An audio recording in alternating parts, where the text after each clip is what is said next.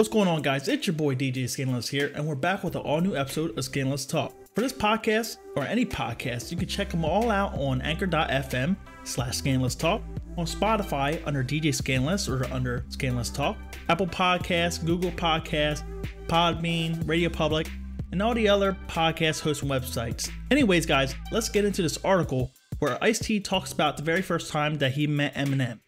Alright, so this is from altpress.com, and the title reads Ice T recalls meeting Eminem on Warp Tour. Kids were booing him.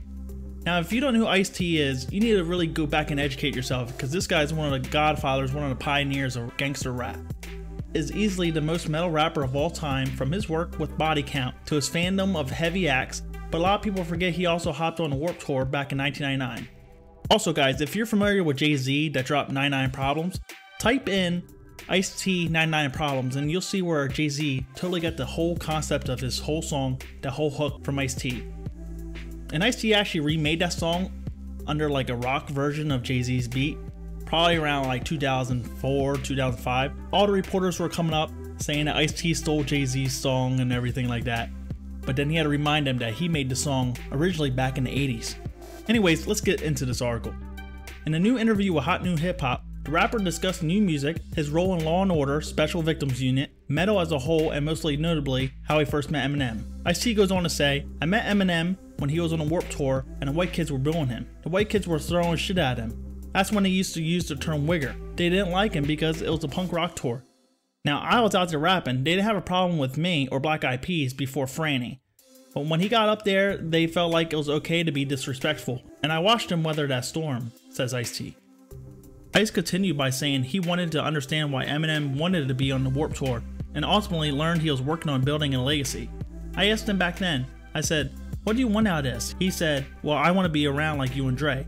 Way back then, he was concerned about longevity. And he was always a supernatural rapper, he was incredible. But was he going to be able to weather a storm? Now, the white kids love him, but he had to pay his dues. It's funny though, not funny, but he was getting more attention from the white audience than the black audience. Also, guys, we got this article about Eminem on Complex.com where Nick Cannon goes in about how he felt way back when Eminem was dissing Nick Cannon and Nick Cannon was dissing him back over Mariah Carey.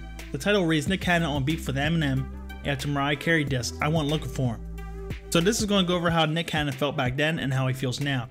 And what he says is, Cannon starts off by painting the scene of how the beef came to his attention.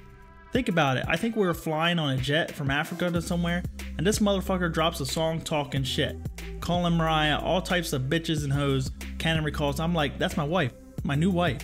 Although he stated that he was down with anything that Eminem wanted to do, Cannon admits that taking things to wax wasn't his preferred medium. I went looking for him, Cannon continues around two minutes into the clip. I called managers, I gotta show my wife I'm a man, I said. I know I'm not gonna be able to out rap you, but I will whoop your ass. These were the exact words at the time. Cooler heads prevailed. Now that all parties have moved on from the situation, Cannon claims that he's invited M to come on Wild 'N Out and have some fun with it all. But seriously, guys, you think Nick Cannon would roll up on Eminem like that and challenge him to a fight? I mean, look at him.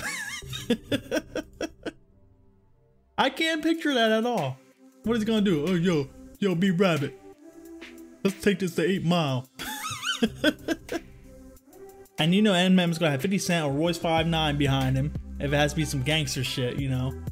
I mean, at least he could, you know, holler out B Rabbit and took it to 8 Mile and have a rap battle. Alright, guys, so that's it for this episode on Eminem. Hope you guys check out my other episodes on Eminem and Tupac and the hip hop beef and everything else. You can check it out on youtube.com slash skandalous talk, as well as on Spotify, Google Podcasts, and all the other ones. Peace out.